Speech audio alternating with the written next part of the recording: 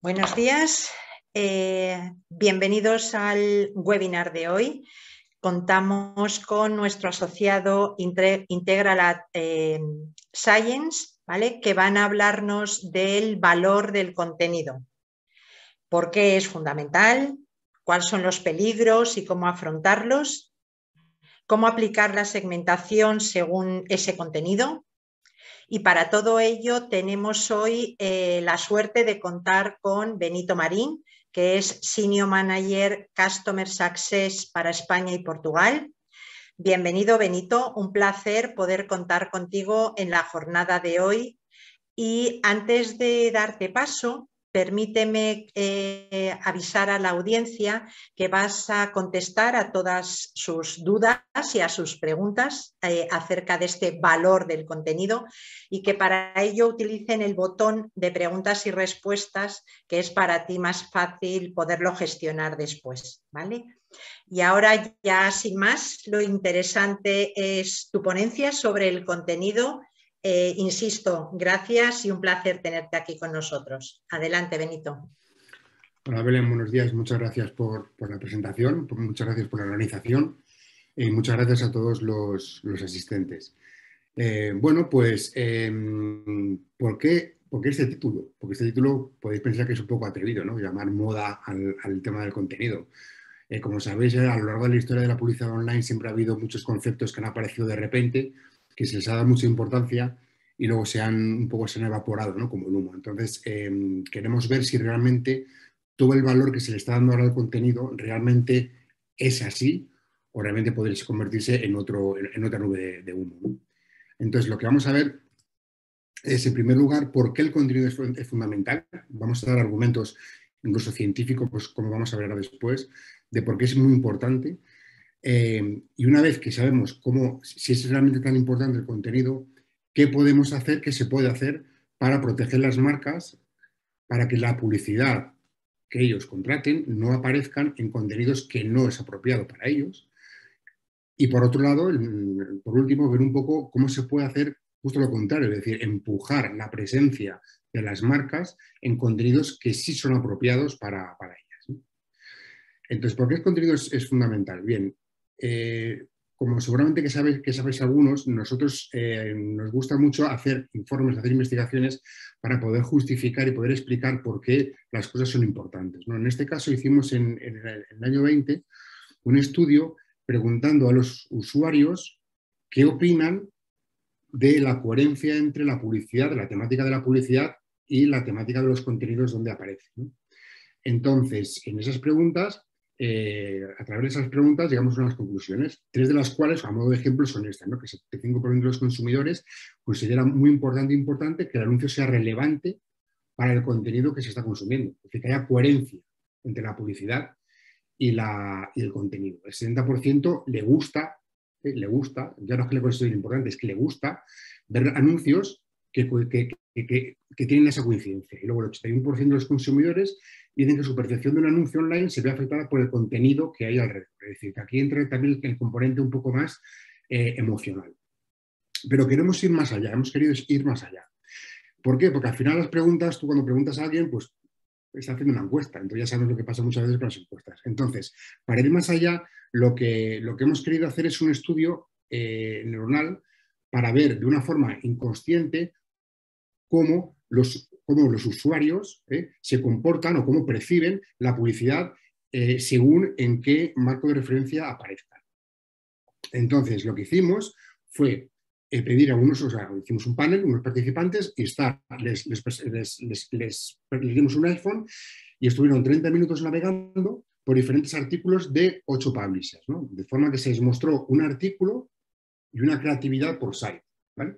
Entonces la publicidad aparecía, inserta en ese contenido, ya sea como un headline o como un infeed.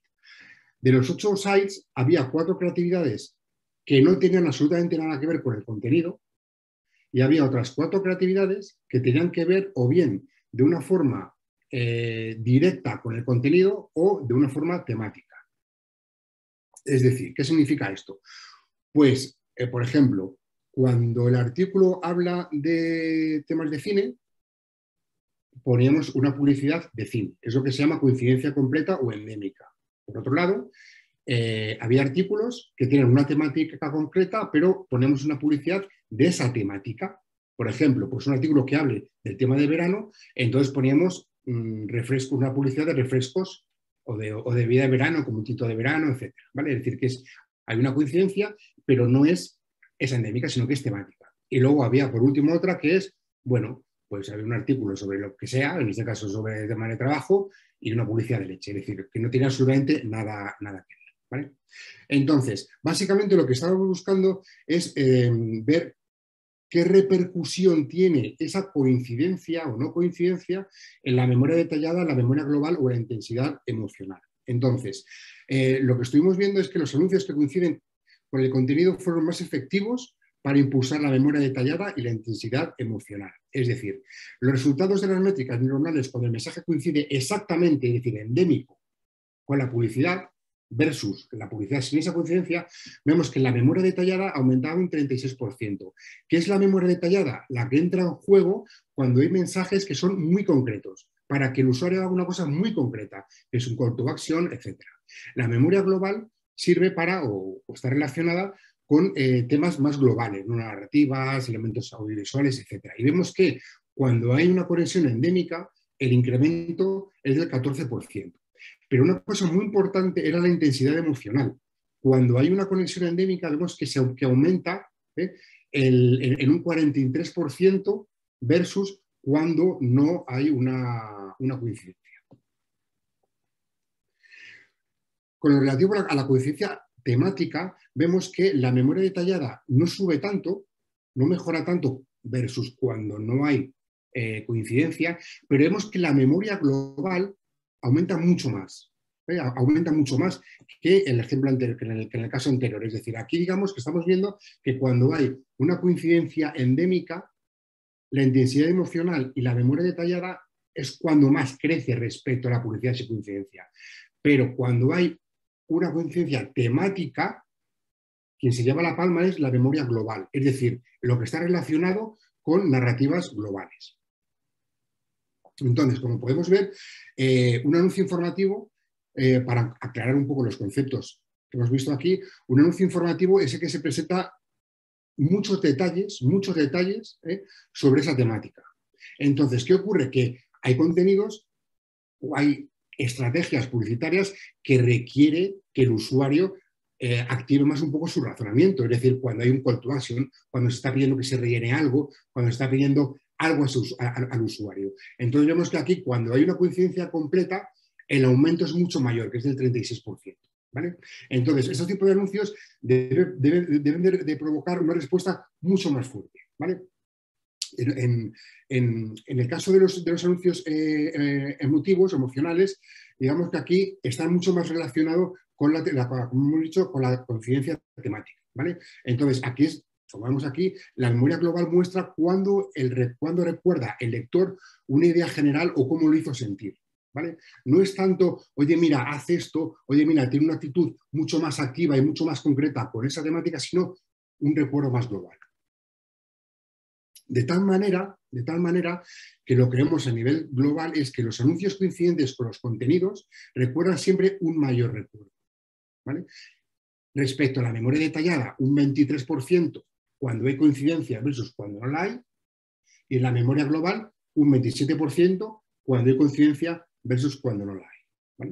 Entonces, esto es lo que dice el, estudio que hemos desarrollado. Es decir, que aquí sí que, como he dicho antes, no se trata tanto de opiniones, sino que es lo que ocurre en el cerebro de, los usuarios. Recordemos que en torno al 90% de, de, las acciones que llevamos a cabo en el día eh, son inconscientes. No tenemos conciencia de ello, como el movimiento de las manos. Yo muevo mucho las manos y no estoy pensando todo el rato, voy a mover las manos para explicarme mejor sino que simplemente es un tema que tienes inconsciente. Y muchos de, y muchos de, los, de las reacciones que se tienen ante la publicidad es de esa manera. Entonces, por eso nosotros quisimos avanzar un poco más en este punto para decir, oye, mira, vamos a hacer un estudio para ver realmente cómo se comporta el cerebro de, los usuarios. Y aquí vemos, ¿no? Está justificado que esa coincidencia entre la publicidad y, el contenido en el cual aparece es tremendamente importante.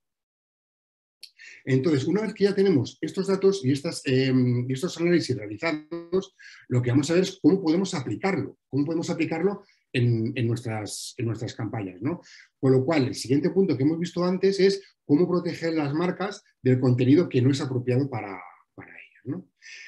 Como ya se ha hablado muchísimas veces, muchísimas veces, muchísimas veces, los análisis para evitar estar en contenido no apropiado antes se basaba sobre todo en las palabras clave. Utilizábamos palabras clave para eh, evitar, hacíamos el famoso exclusion list de keywords, para evitar aparecer esos contenidos que contuvieran esas palabras clave. Pero ya nos hemos dado cuenta, por activa y por pasiva, que no funcionan, porque hay muchas palabras que significan muchas cosas diferentes en base al marco de referencia donde aparecen. Entonces, ¿qué es lo que, hay qué es lo que entendemos nosotros que hay que hacer para que ese análisis sea correcto? En primer lugar, entender morfológicamente las palabras, saber diferenciar lo que es lo que significa perro, lo que significa perros, que es el plural de perro, y perrera, que es el lugar donde se llevan a los perros.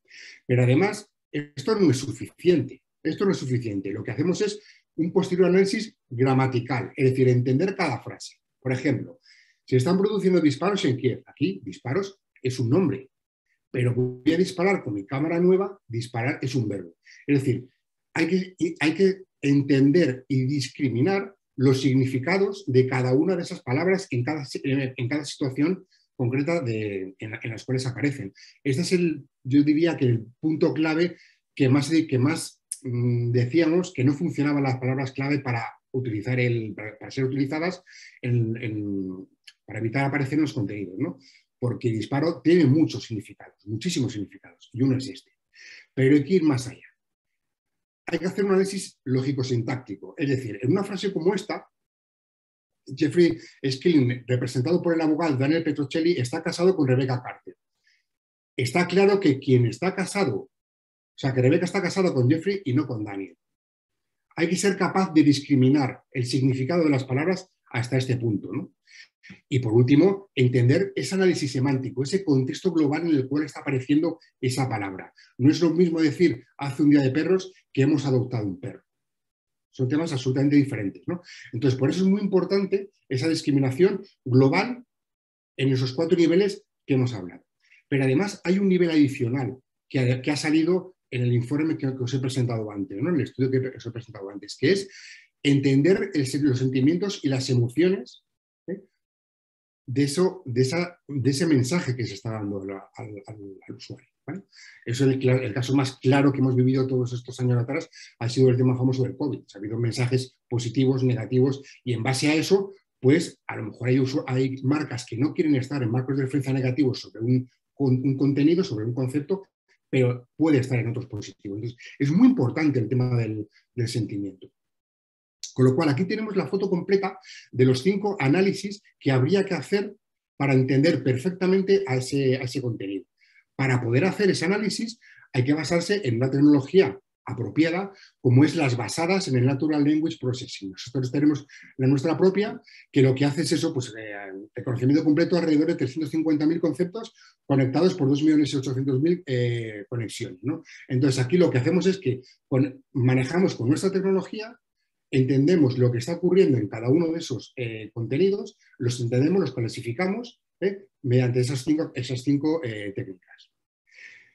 Para ello, además, hemos ido más allá y hace unos meses adquirimos una compañía que se llama Context, que son especialistas para ahondar mucho más en el contenido.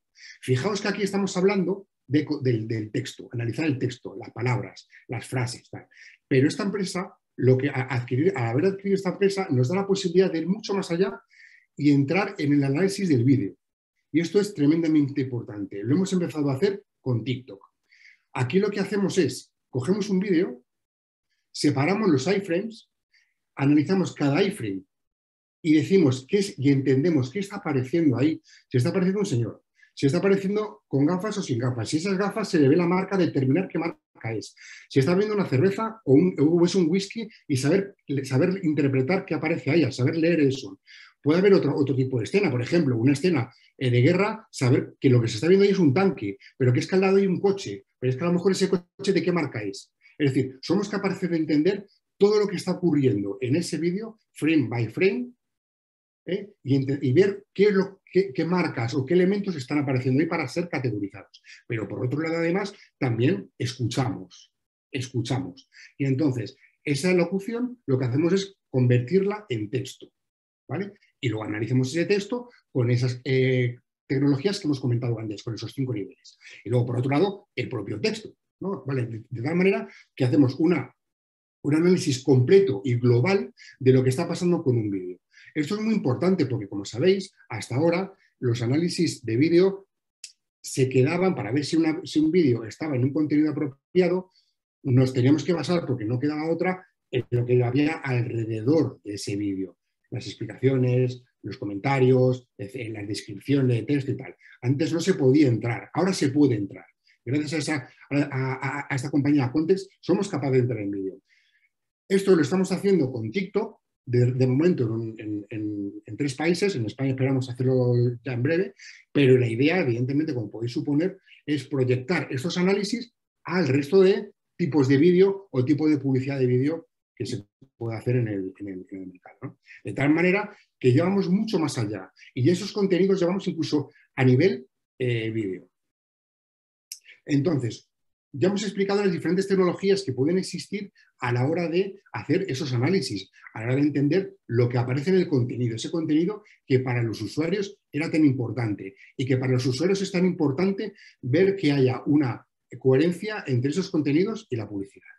Entonces, ¿cómo lo hacemos? ¿Cómo ejecutamos ya esto a nivel campaña, a nivel de análisis de campaña? Lo que hacemos es que cuando aparece esta página, cogemos esta página y la leemos, la entendemos y ponemos como etiquetitas, por llamarlo de alguna manera, para ver de qué va el contenido de esta página. Mira, pues esta página habla de, conexión, de datos, de Internet, de, servicios de, vamos, de, conexión a Internet, con un sentimiento positivo, porque te está diciendo, a ver, que si, tu, compañía eh, cumple con la velocidad eh, que estás pagando, etcétera, con una, emoción de modernidad. Entonces, como vemos que son contenidos positivos, pues a nuestra marca no le va a importar aparecer ahí.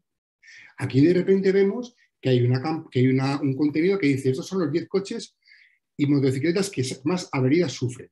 De repente, aquí podría aparecer nuestra marca. Aquí podría aparecer una marca de coches con un modelo concreto que resulta que se abría muchísimo.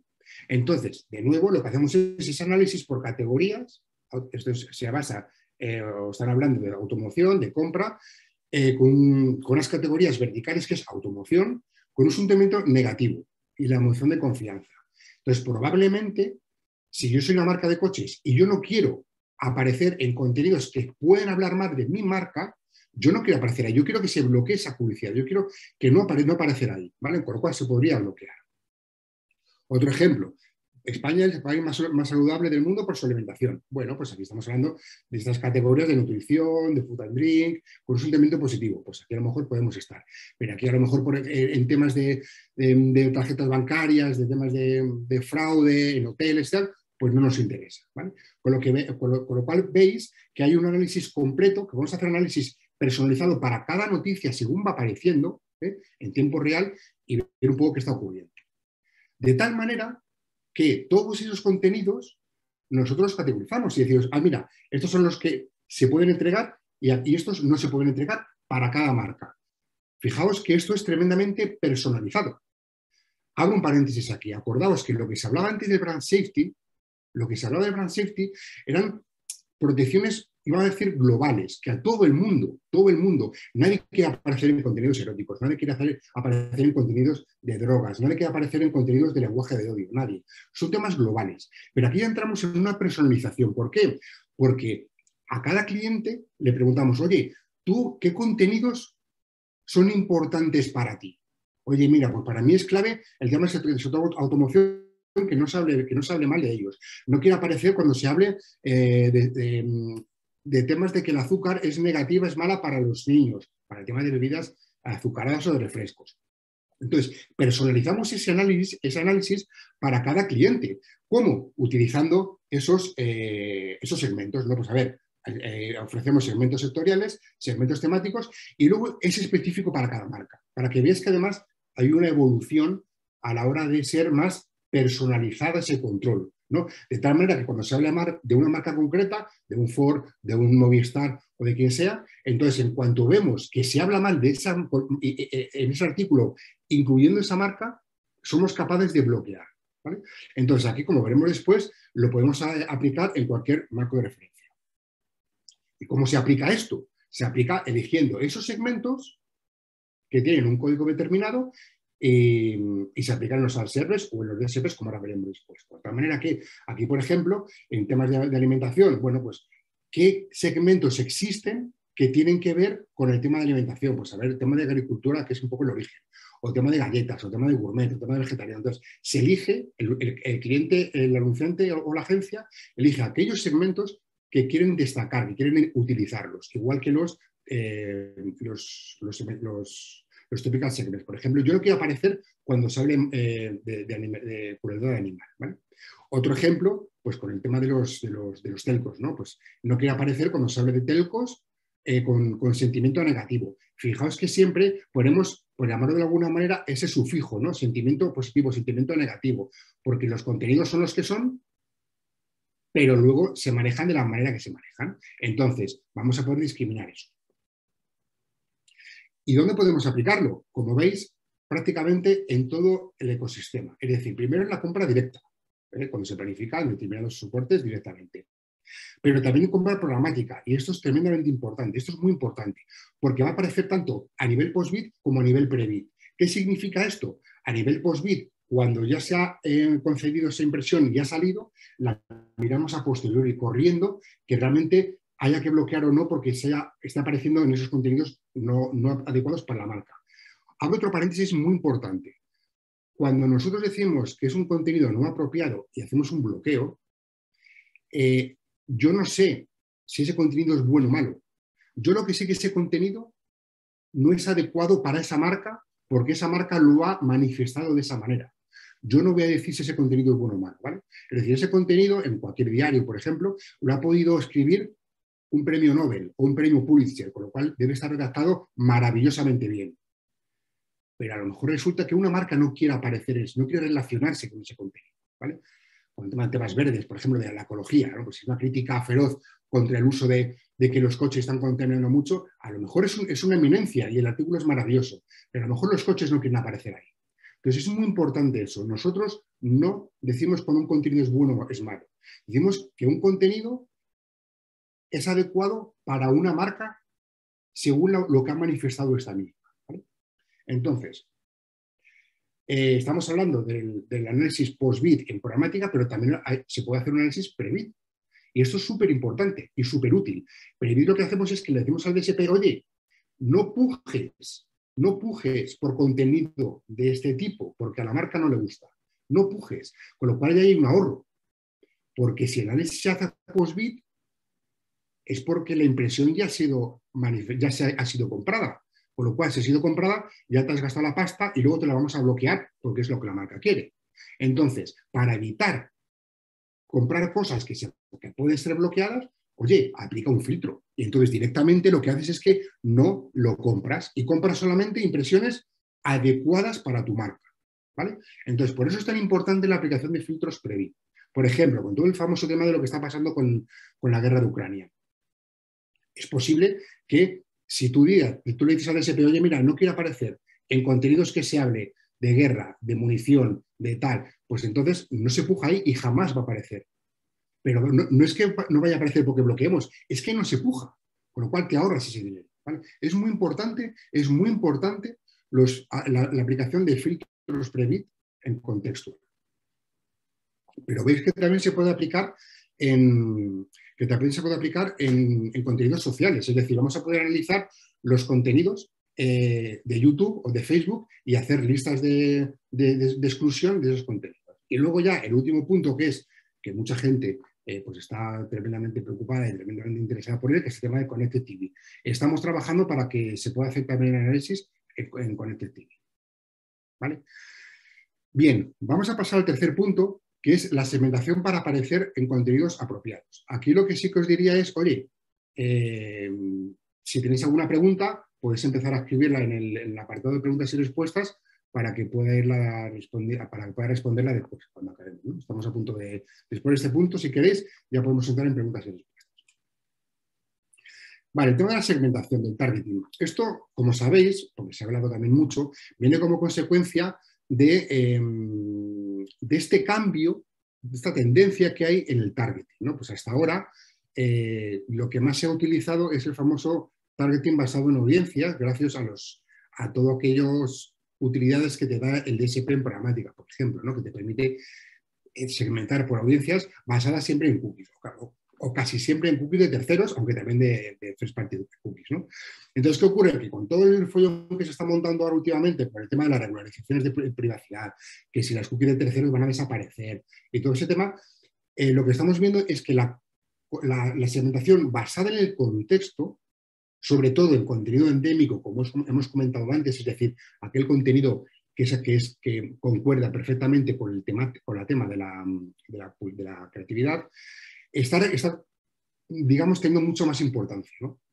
Entonces, está viendo una, no una migración, pero un, un, cambio de foco al contexto de targeting. Por supuesto que con todo el tema o como soluciones diferentes que hay para eh, resolver el tema del third party cookies, hay otras soluciones técnicas. ¿no? Está claro que es el tema de, los, de las cohortes y tal, entonces se está desarrollando por ahí, pero hay un tema muy importante que es el contexto del targeting, es decir, aquel targeting basado en los intereses. Entonces, lo que podemos hacer aquí es cuatro niveles. Los dos primeros ya los hemos visto, es decir, oye, mira, cuando aparezcan eh, contenidos que hablen muy bien de bebidas o de finanzas o de tal, yo quiero aparecer ahí, empujar, hacer esa segmentación o en temas temáticos.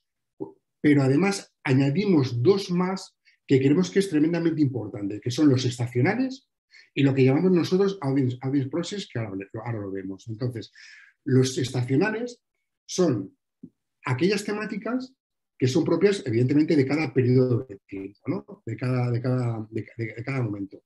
Por ejemplo, ahora estamos en primavera. Entonces, ¿qué es lo que pasa ahora en primavera? ahora ha, pasado el Día de la Madre, ha pasado el tema de, em, bueno, que le guste el, béisbol, pues los, es decir, los primeros partidos que hay. aparte, también está el tema de Semana Santa. Está el famoso tema de la final de la Champions. Entonces, ¿qué ocurre? Que hay ciertas marcas que están presentes en esos eventos, que tienen que ver con esos eventos. Por ejemplo, Heineken patrocina la Champions League, la final de la Champions League. Probablemente, probablemente le pueda interesar aparecer en aquellos contenidos en, Internet que se abre de la Champions. ¿vale? Con lo cual, ellos pueden decir a DSP, oye DSP, cuando tú ves un contenido que abre de la Champions, puja por él, puja por él, porque yo soy patrocinador. Entonces a mí me, va a interesar aparecer ahí. Pero ya no solamente a nivel patrocinios. Eh, ¿Sabéis que Kia, por ejemplo, eh, los, los, personajes que están anunciando son em, Rafa Nadal y Mireia Belmonte? Resulta que a lo mejor cuando se abre de natación, ¿por qué no va a aparecer Kia ahí? Ya existe un vínculo entre la natación y Kia porque es la mejor, la mejor nadadora que ha habido en España en todos los tiempos, es la que es la prescriptora de Kia. ¿Y qué vamos a decir de Rafa Nadal? ¿no? Pues ahora mismo que está con todo el tema de, Roland Garros, que sigue ganando y yo no sé cómo se va a cansar de ganar este hombre, eh, ¿por qué no podemos decir al DSP de Kia, oye, cuando haya noticias de Rafa Nadal, empuja para aparecer ahí, puja por esas impresiones para que podamos aparecer ahí. Pero eso ocurre con el Día de la Madre, con el tema de los perfumes. ¿Por qué un Chanel, un estilador y tal, cuando eh, en, la época, las semanas o dos semanas antes del Día de la Madre, ¿por qué no pujar cuando se habla de ese tipo de contenidos? Para que veáis que se puede ir mucho más allá y que a la hora de hacer eh, las segmentaciones hay que abrir la mente, hay que abrir la mente y hay que utilizar este tipo de, este tipo de soluciones. Pero además, lo que nosotros llamamos eh, segments, que son segmentos vamos a llamar a medidas o, segmentos, digamos, de estilos de vida. ¿no? Pues si tú lo que quieres es, es, eh, si tú te vas a casar en breve, pues hay una serie de eh, contenidos que son relativos a la boda, por ejemplo, viajes, ¿no? por ejemplo, restaurantes, por ejemplo, salas de fiesta, tal. Entonces, a lo mejor lo que se le puede decir al SP es, oye, cuando se hable de estos contenidos, ¿vale? Como yo soy pro novias, puja por ellos, puja por ellos. O eh, comprarte un coche nuevo, o comprarte una casa nueva. Dentro de la casa nueva hay muchos elementos a, tener en cuenta. Por ejemplo, todo el tema de decoración, marcas de decoración. Entonces, digamos que son diferentes elementos que nosotros hemos construido como unos, unos clusters, ¿no? son clusters en los cuales los ofrecemos para que los DSPs busquen por ellos. Entonces, básicamente, estos son los diferentes elementos que podemos, que podemos, eh, que podemos aplicar. Pero fijaos lo, interesante que es esto, es decir, en, el, apartado anterior lo que decimos es, oye, de vuestras campañas, de todo lo que estáis haciendo, vamos a controlar no aparecer. Aquí lo que hacemos y lo que podemos ofreceros es, oye, mira, hacer segmentos, a decir chiquititos o no tan chiquititos, o propios, o, o a lo mejor que duren una semana, según lo que son las periodicidades, para empujar, para hacer targeting sobre esos contenidos. Entonces, de esa manera, podría haber muchas campañas chiquititas, ¿sabes? Pero súper, súper, súper Ejemplos. Como veis, seguimos aplicando la, eh, digamos, la metodología de los, de los segmentos. Entonces, nosotros lo que hacemos es que cuando un cliente nos dice, oye, mira, yo quiero hacer una campaña y que em, soy Bayer y quiero hacer una, campaña de productos, de, productos farmacéuticos que tienen que ver con el verano. ¿Qué segmentos tenéis para que yo pueda decirle a mi DSP, oye, cuando haya contenidos de estos que tienen que ver con mi marca, em, voy a segmentarlo, voy a, voy a pujar por ello. Pues entonces aquí veis, por ejemplo, de, segmentos verticales del mundo de la, del telco, ¿no? Pues el connectivity, family voice, eh, es decir, no se trata de comprar o de aplicar segmentos globales de una temática completa. No, ofrecemos más de 300 para que podáis afinar lo más posible. Aquí no se trata de hacer desembolsos gigantescos porque voy a aplicar todo, voy a aplicar un, segmento adicional, un filtro adicional ¿eh? a toda la campaña. No, haz campañas pequeñitas, haz campañas concretas para cada uno de esos temas. Entonces, porque como sabéis, cuanto más se segmente, más core es esa publicidad que estamos afinando a un target concreto. ¿no?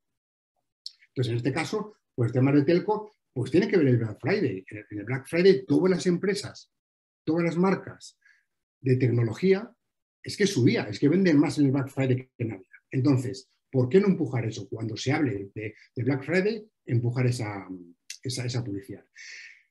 Insisto en el punto de la segmentación súper personalizada tema de coches, una marca concreta como SEAT, es que tiene muchos modelos diferentes, es que cada modelo va a una gente diferente. Entonces, como consecuencia de eso, es muy importante hacer cachitos, cachitos, cachitos de segmentos absolutamente diferentes entre nosotros. Veis que es que ni coinciden, es que los, los segmentos, eh, los verticales que se utilizan en el CityCar o en, el, o los, sub, es que no coincide ninguno. Y es la misma marca. ¿vale? Entonces es importante esto. ¿vale? También podemos eh, aplicar a temas de, mm, de bebidas, con todo el tema del gluten, con todo el tema del fitness, ¿eh? o temas de, moda, ¿vale? Entonces, os quería presentar también un, eh, un case study que hicimos en nuestro mercado de Singapur, ¿vale? Trabajando con Matterkind. Entonces, lo que hicimos fue em, una campaña basada e, efectivamente para una empresa de, pues de, formación internacional, eh, haciendo, una campaña de targeting. Es decir, diciéndole al DSP, oye, mira, puja por esto, puja por esto, puja por esto.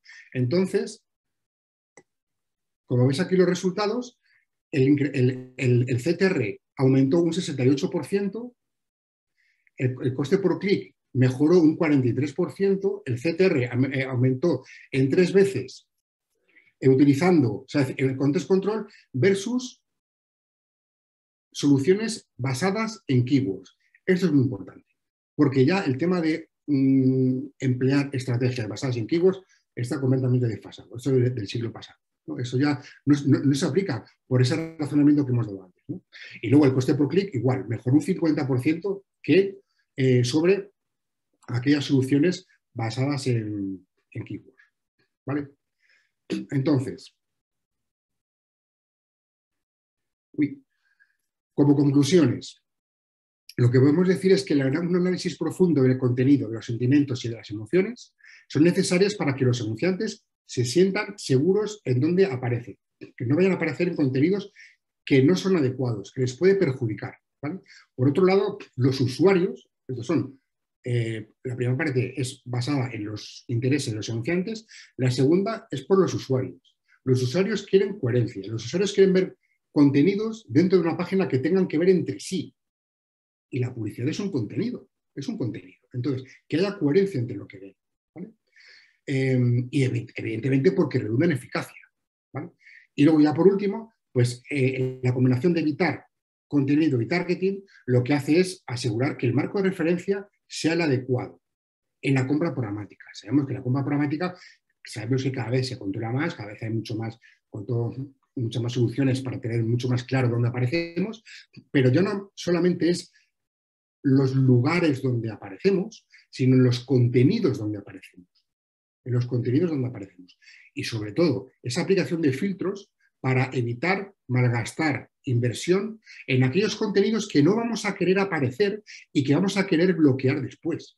Pues hombre, aplica un filtro y así no tienes que pensar después en cuánto dinero hay por experiencia. Y, ya está, ya está. Esto es un poco lo que, lo que, os, quería, lo que os quería comentar. Aquí veis eh, también un, código QR, si queréis descargar el último, el último estudio que hemos hecho de calidad de medios con el, famoso benchmark que nos pedís todos los clientes de, de Viability, Fraude y Brand Entonces, no sé si tenéis alguna pregunta. Este es el momento para que la hagáis y para que la, pueda responder.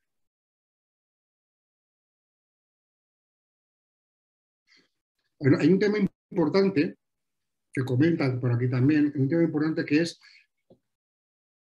si hacemos la, eh, o digamos, la combinación entre hacer bloqueos post-bit o aplicar pre-bit al mismo tiempo. ¿Tiene sentido? Pues claro, al final pues, se hacen dos cosas. Es decir, tú mira que tienes un coste que es duplicado. Vale, vamos a ver que quede claro esto porque no es un coste duplicado. Es decir, cuando hacemos un bloqueo sobre post-bit, lo que hacemos es que vemos lo que está pasando en tiempo real, analizamos los contenidos, vemos que los que no coinciden con, los intereses de los usuarios, entonces ahí podemos bloquear. Si aplicamos Previt, lo que, hace, lo que ocurre es que no se va a comprar esos contenidos no adecuados. Con lo cual, los niveles de bloqueo de postbit son muy pequeñitos, muy pequeñitos. Y esos muy pequeñitos es porque el análisis postbit es en tiempo real y el análisis prebit, lo que son las aplicaciones de filtros, no puede ser en tiempo real. O sea, no, no puede haber un, tiempo real, es decir, porque es un filtro. Entonces se cambia cada dos días más o menos es cuando se refrescan en los DSPs los, los contenidos. ¿no? Entonces, ese delay que hay entre eh, pre-bit y post-bit es ese pequeño fallo que te va a quedar en, hacer un análisis de post-bit, ¿vale? Pero viene a cuento porque las impresiones que tú compras en pre-bit van a ser, van a ser buenas, van a ser todas sanas, en el sentido de lo que, de lo que, el, eh, de lo que la marca quiere, no de la calidad de los medios. Eso es muy importante. ¿Me puede facilitar el link para descargarlo en, vez de usar el código QR? Eh, sí, no sé si mientras a uno se le ocurre otra pregunta voy a intentar encontrar el link, pero no lo tengo aquí. No lo tengo aquí. Debería, a ver. Debería entrar, debería intentar. Si me dejáis un momentito, lo busco y os lo copio. Porque sí que lo puedo hacer. Si me dais un segundito y ya lo hacemos todo bien.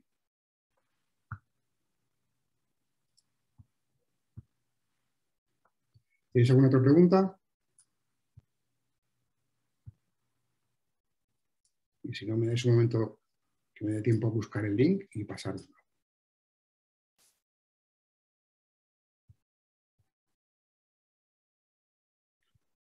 ¿Más preguntas? No seáis tímidos.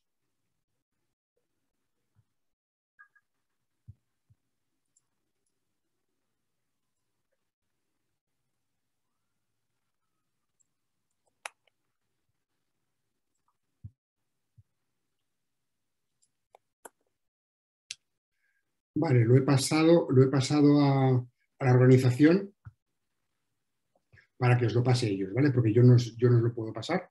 Entonces, con ese link que os he enviado, podéis descargaros el, el estudio. Este estudio, a ver qué abro esto un poco para los que a lo mejor no estéis tan familiarizados con ello, este estudio es el famoso benchmark que nos pedís continuamente, con lo cual me parece maravilloso, sobre el famoso, el famoso benchmark nuestro. Nosotros cada, cada seis meses hacemos un análisis de, ver dentro de toda nuestra red por países, ver cuáles son los niveles de viability, de brand safety, eh, de fraude que hay en, en cada uno de los países. Es interesante porque lo que vais a ver es que no hay un viewability, por ejemplo, hay ocho viewabilities desktop en vídeo, desktop en mobile, eh, app en eh, app vídeo, es decir, que en cada marco de, en cada marco de referencia, en cada eh, entorno, hay viewabilities diferentes. Entonces, para que veáis que realmente hay que tener en cuenta las cosas. Cuando os pregunten, oye, ¿cuál, puede ser el viewability medio del vídeo? No, eso no existe. Es decir, existe, pero no, no, es, no, es, no, es demasiado útil. ¿no? Hay que ver un poco esa discriminación. ¿Alguna otra pregunta? ¿Alguna otra duda? De todas maneras, algunos, me imagino que algunos de los, de los asistentes pues ya nos conocéis. Si tenéis dudas quizás personalizadas, pues por supuesto podéis contactar conmigo con, o con gente de mi equipo para poder, para poder solventarlas. ¿vale? Pues muchas gracias por vuestro tiempo y, y nada, gracias por vuestra asistencia y que tengáis un buen día y un buen fin de semana. Gracias.